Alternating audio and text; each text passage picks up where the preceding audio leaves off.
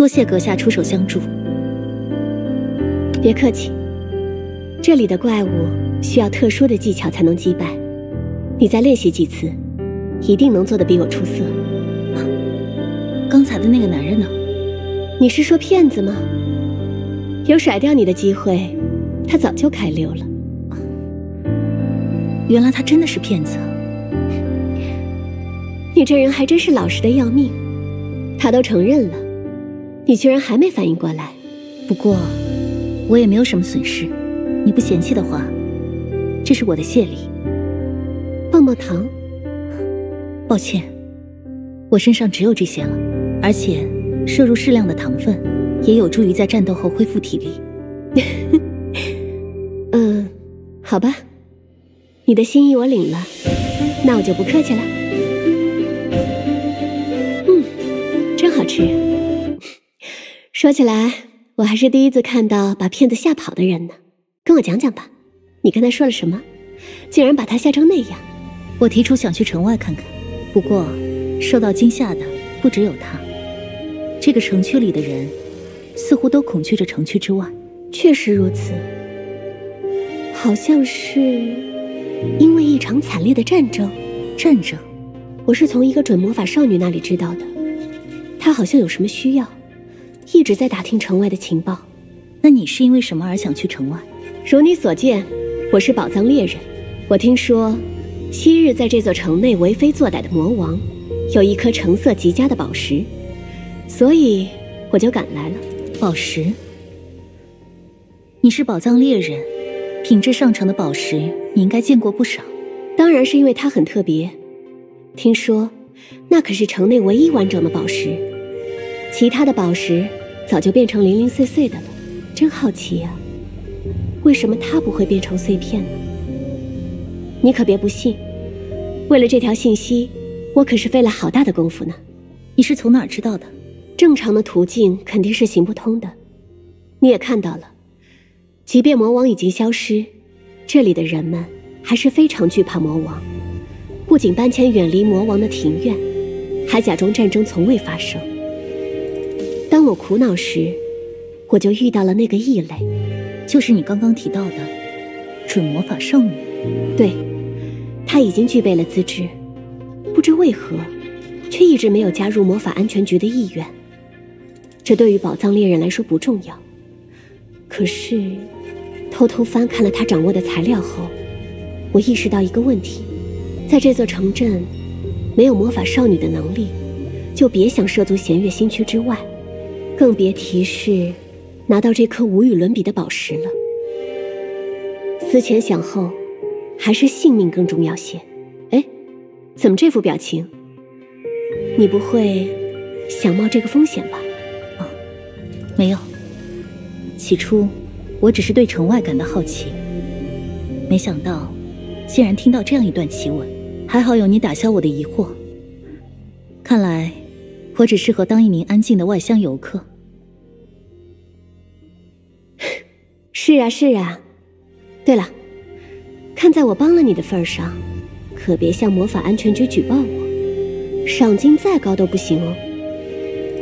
查到所有人避而不谈的秘密，又觊觎魔王私藏的宝物，还有谁比我更像是个不安定因素，对吧？开玩笑的了。如此说来，除去魔王，原来魔法安全局是本次行动的另一股阻力。请放心。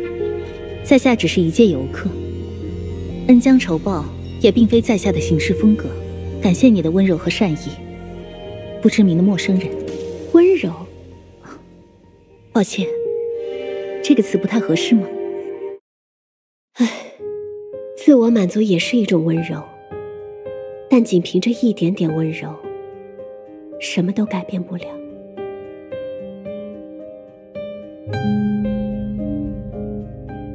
至少，温柔能让我们去守护自己触手可得的东西。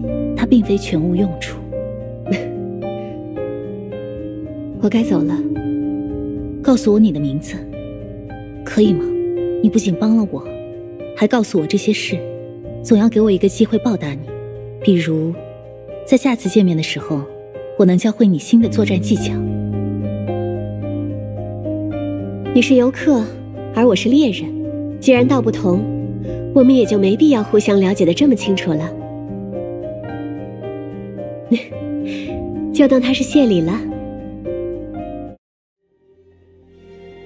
事情发展到这一步，现在溯源到开端，如果对我设下的圈套，从我刚到这个世界泡时就已经开始了。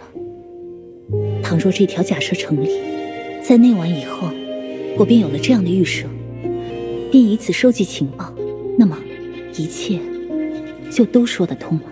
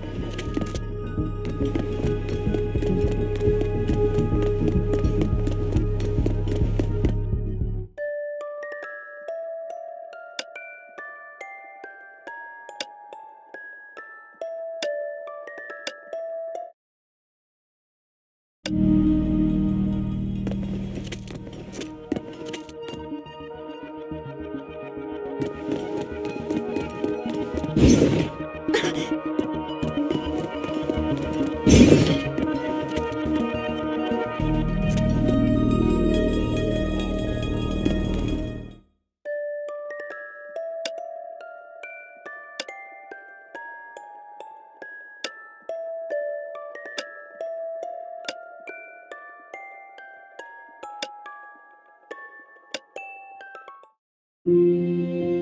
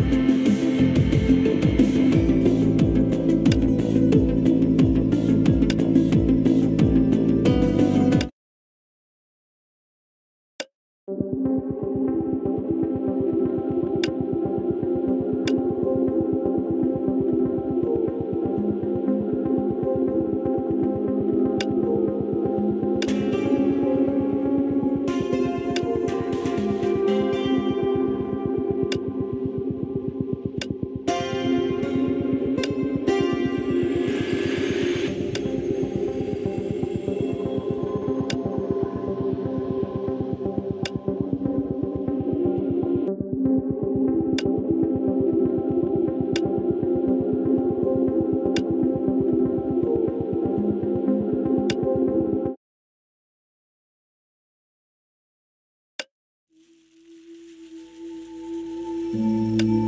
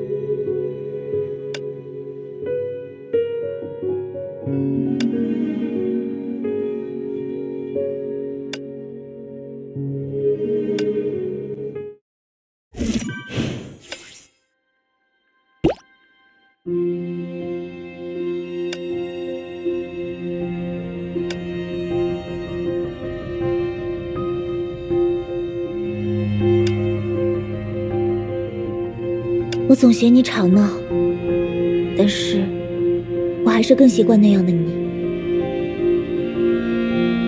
要是你醒过来了，我就会把这些天发生的事情全都告诉你。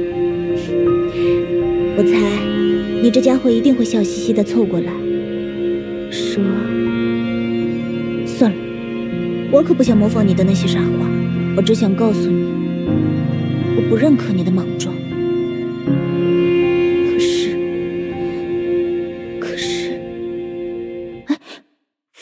什么？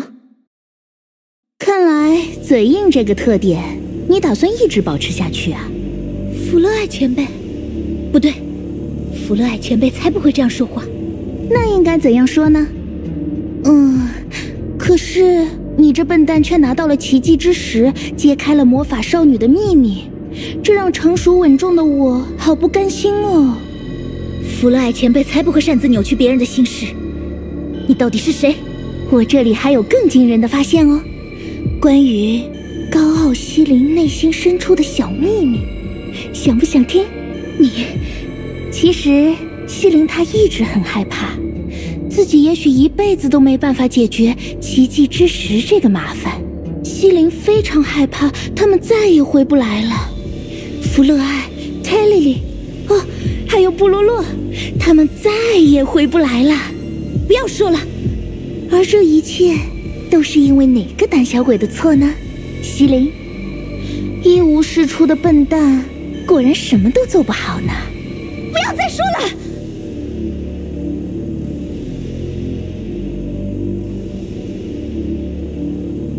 你还是和以前一样冲动呢，西林，你和你的心事都一样简单。我不需要你的评判。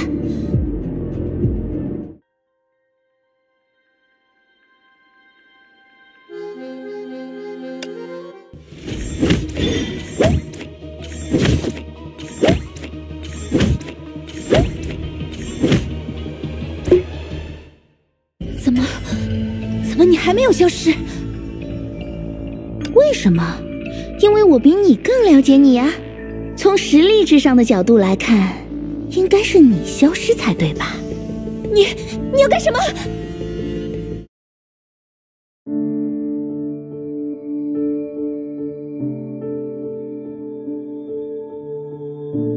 是奇迹之石搞的鬼吗？可是，可是那个幻影好像也没说错什么。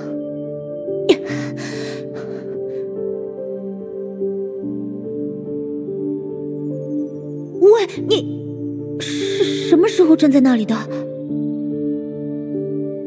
别紧张，我刚刚不小心睡着了而已。有什么事，我们去外面谈吧。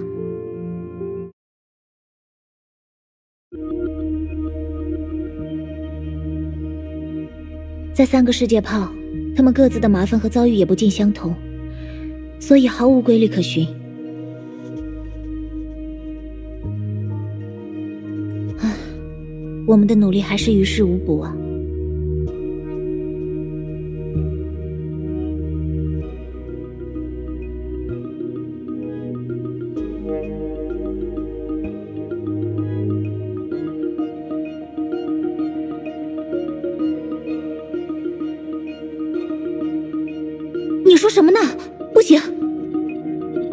什么可是，我说不行就是不行。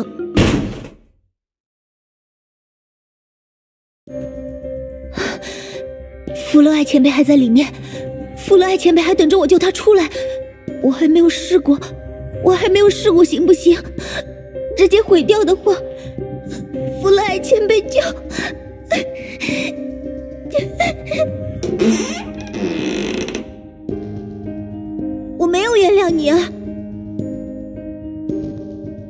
过了，我以为足够的专注和真诚就能做出什么改变，可是什么都没有发生，我感受不到奇迹之石里的任何波动。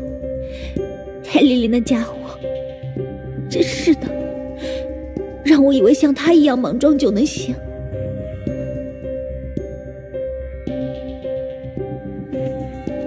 可是这还不够。只会守护魔法，只能找回我曾经掌握的魔法力量。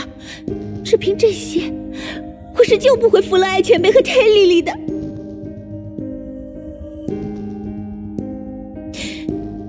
抱歉，我只是做不到像你们这样坚定。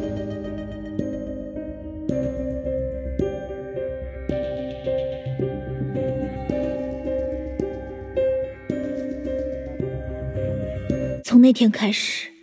我忽然意识到，在魔王和悲剧的循环面前，强大如魔法安全局也无计可施。而且，像我和忒丽丽这样的魔法少女，非但帮不上布洛洛前辈和弗洛艾前辈，反而让弗洛艾前辈为保护我们，失去求生的机会。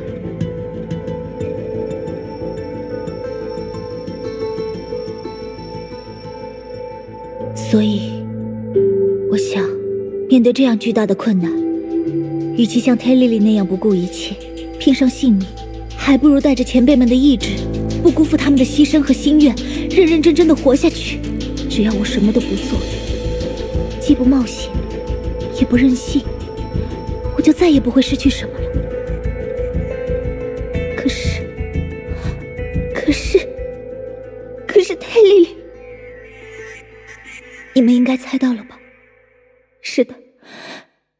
尔伯洛斯的事，就是我打听到的。当然了，我得到情报后会反复斟酌，而他没有任何犹豫。就结果，这样一个笨蛋，竟然真的拿到了奇迹之石。前辈为了保护我们，变成了奇迹之石；黑莉莉为了救出前辈，找到了奇迹之石。现在，奇迹之石就在我的手里，而我，而我，而我什么都做不到。我是不是很傻？在魔王城堡里，第一次变身为魔法少女的那天开始，我以为我真的长大了，足够理智，足够冷静，也足够沉稳。一举一动都要经过周密详尽的考量，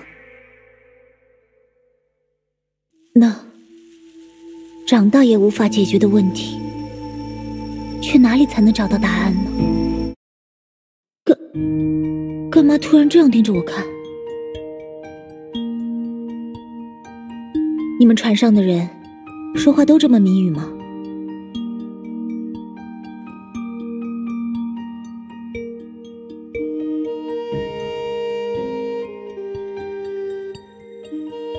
哼我也没指望你来告诉我，你就等着吧，我绝对会找到解决这一切的办法。你这家伙，该不会是在把我当小孩子来应付吧？不过，说了这么多之后，确实感觉心情轻松了不少。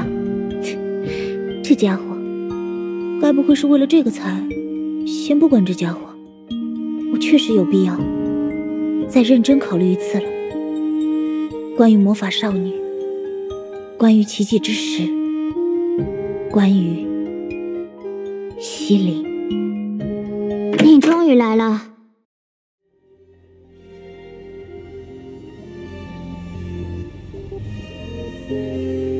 我们刚刚有个新发现。